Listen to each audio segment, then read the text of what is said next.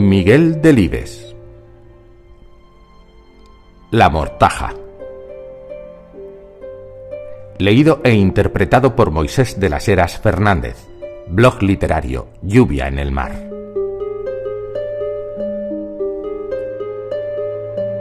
Cuatro.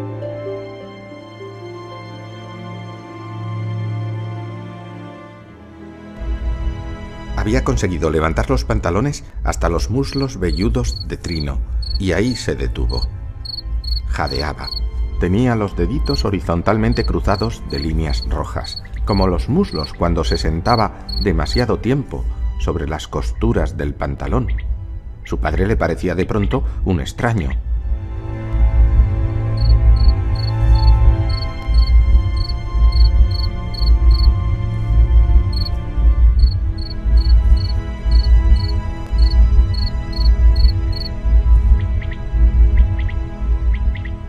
Su padre se murió el día que le mostró la fábrica y él rompió a llorar al ver las turbinas negras y las calaveras.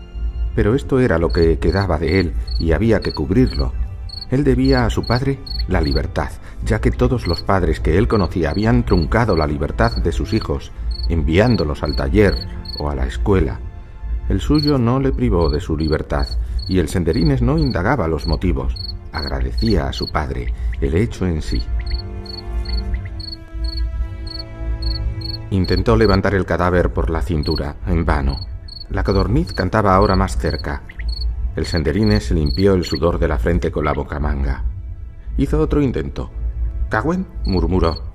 De súbito se sentía impotente. Presentía que había alcanzado el tope de sus posibilidades. Jamás lograría colocar los pantalones en su sitio.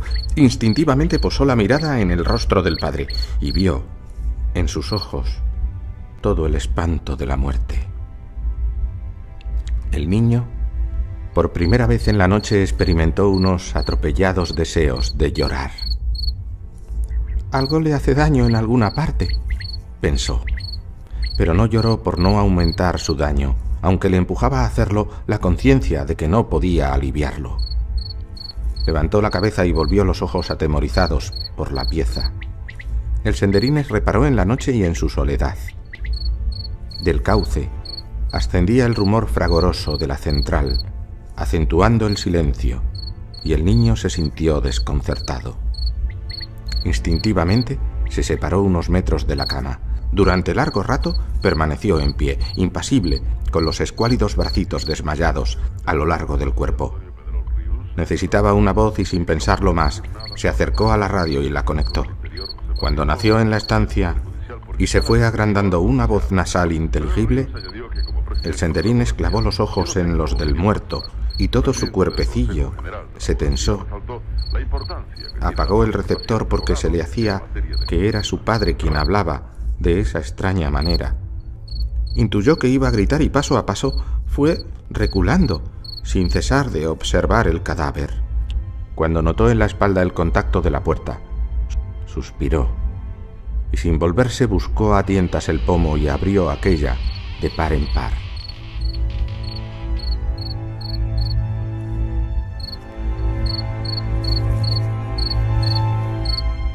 Salió corriendo a la noche. El cebollero dejó de cantar al sentir sus pisadas en el sendero. Del río ascendía una brisa tibia que enfriaba sus ropas húmedas. Al alcanzar el almorrón, el niño se detuvo. Del otro lado del campo de trigo veía brillar la luz de la casa de Goyo. Respiró profundamente, él le ayudaría y jamás descubriría a nadie que vio desnudo el cuerpo de Trino. El grillo reanudó tímidamente el cricrí a sus espaldas. Según caminaba, el senderines descubrió una lucecita entre los yerbajos de la vereda. Se detuvo, se arrodilló en el suelo y apartó las pajas. ¡Oh, una luciérnaga! se dijo con una alegría desproporcionada. La tomó delicadamente entre sus dedos y con la otra mano extrajo trabajosamente del bolsillo del pantalón una cajita de betún con la cubierta horadada. Levantó la cubierta con cuidado y la encerró allí. En la linde del trigal tropezó con un montón de piedras. Algunas, las más blancas, casi fosforescían en las tinieblas. Tomó dos y las hizo chocar con fuerza. Las chispas se desprendían con un gozoso y efímero resplandor. La llamada insolente de la codorniz a sus pies le sobresaltó. El senderines continuó durante un rato frotando las piedras, hasta que le dolieron los brazos de hacerlo. Solo entonces se llegó a la casa de Goyo y llamó con el pie. La Obi se sorprendió de verle. ¿Qué pintas tú aquí a estas horas? dijo. Me has asustado. El senderines, en el umbral, con una piedra en cada mano, no sabía qué responder. Vio desplazarse a Goyo al fondo de la habitación, desenmarañando un sedal. ¿Ocurre algo? voceó desde dentro. A el senderines le volvió inmediatamente la lucidez. Dijo: ¿Es que vas a pescar lucios mañana? Bueno, gruñó Goyo aproximándose. No te habrá mandado tu padre a estas horas a preguntar si voy a pescar mañana o no, ¿verdad? A el senderines se le quebró la sonrisa en los labios. Denegó con la cabeza, obstinadamente. Balbució al fin. Mi padre ha muerto. La Obi, que sujetaba la puerta, se llevó ambas manos a los labios. Ave María, ¿qué me dices? dijo. Había palidecido. Dijo Goyo. Anda, pasa, pasa, y no digas disparates. ¿Qué esperas ahí a la puerta con una piedra en cada mano? ¿Dónde llevas esas piedras? ¿Estás tonto? El senderine se volvió y arrojó los guijarros a lo oscuro, hacia la linde del trigal donde la codorniz cantaba. Luego franqueó la puerta y contó lo que había pasado. Goyo estalló. Hablaba a voces con su mujer con la misma tranquilidad que si el senderines no existiese.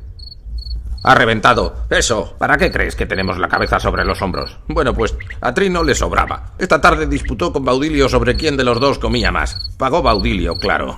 ¿Y sabes qué se comió el Trino? Dos docenas de huevos para empezar. Luego se zampó un cochinillo y hasta arrolló los huesos y todo.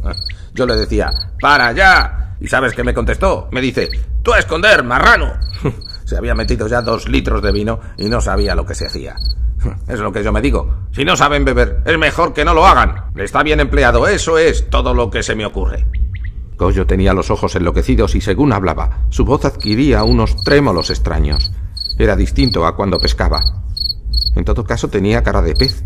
De repente se volvió al niño, le tomó de la mano y tiró de él brutalmente hacia dentro de la casa. Luego empujó la puerta de un puntapié. Voceó como si el senderines fuera culpable de algo. Luego me ha dado dos guantadas. ¿sabes? Y eso no se lo perdono yo ni a mi padre, que, en gloria haya. Si no sabe beber, que no beba. Al fin y al cabo yo no quería jugar y él me obligó a hacerlo. Y si le había ganado la apuesta a Baudilio, otras veces tendremos que perder, digo yo. La vida es así, una vez se gana, otras veces se pierde, pero, él no, no, no. Y va y me dice, ¿tienes triunfo? Y yo le digo que sí, porque era cierto. Y el Baudilio terció entonces que la lengua en el culo. Y que para eso estaban las hechas. Pero yo le dije que sí y él echó una brisca. Y Baudilio se cudió el rey, pero yo no tenía para matar al rey, aunque tenía triunfo, y ellos se llevaron la baza y... Goyo jadeaba. El sudor le escurría por la piel lo mismo que cuando luchaba con los barbos desde la presa. Le exaltaba una irritación creciente a causa de la conciencia de que Trino estaba muerto y no podía oírle. Por eso voceaba el senderines en la confianza de que algo le llegara al otro, y el senderines le miraba atónito, enervado por una dolorosa confusión. La Obi permanecía muda, con las chatas manos levemente crispadas sobre el respaldo de una silla. Goyo vociferó. Bueno, pues, pues Trino, sin venir a cuento, se levanta y me planta dos guantadas, así, sin más, y me dice, toma, y, toma, y, por tu triunfo, pero, pero, pero yo sí tenía triunfo, yo lo, juro por mi madre, aunque no pudiera montar al rey. Y se lo enseñaba a Baudilio y se puso a reír a lo bobo y yo le dije a Trino que era un mermao y, él se puso a vocear que me, me, iba a pisar los hígados. Y yo me digo que un hombre como él no tiene derecho a golpear a nadie, que no, no, no pese 100 kilos, porque es lo mismo que si pegase a una mujer, pero estaba cargado y quería seguir golpeándome y entonces yo me despaché a mi gusto y, y me juré por estas que no volvería a mirarle la cara si se muriera. ¿Comprendes ahora? Goyo montó los pulgares en cruz y se los mostró insistentemente a el Senderines, pero el Senderines no le comprendía.